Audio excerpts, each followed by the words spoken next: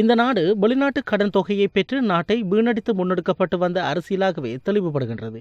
இங்கிலாந்து தொடக்கம் பல்வேறு உலக நாடுகளில் காரணமின்றி கடன்களை பெற்று மக்களின் அபிவிருத்தி என போர்வையிட்டுக் கொண்டு செலுத்துகின்றனர். இந்த நிலையில் மத்திய வங்கி பண முறிவு விடயத்தில் ரவி கருணாநாயக்க ஊழலில் ஈடுபட்டதை காரணம் காட்டி தந்திரமாக அவரை பதவி நீக்கம் செய்து நாடகமாடினர் உண்மைக்கு புறம்பான செய்திகளை நாளுக்கு நாள் வேறுபடுத்தி அச்சு ஊடகங்கள் மற்றும் இலத்திரனியல் ஊடகங்கள் வெளியிட்டன.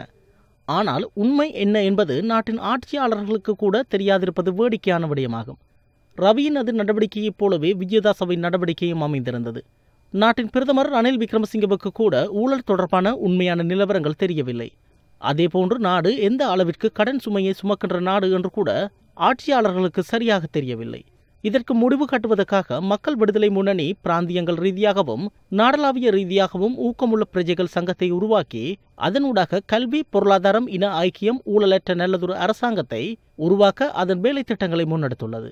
அந்த வகையில் எதிர்காலத்தில் மக்கள் விடுதலை முன்னணி மாற்றத்தின் ஊடான ஒரு அரசியலை இந்த நாட்டில் முன்னெடுக்கும்.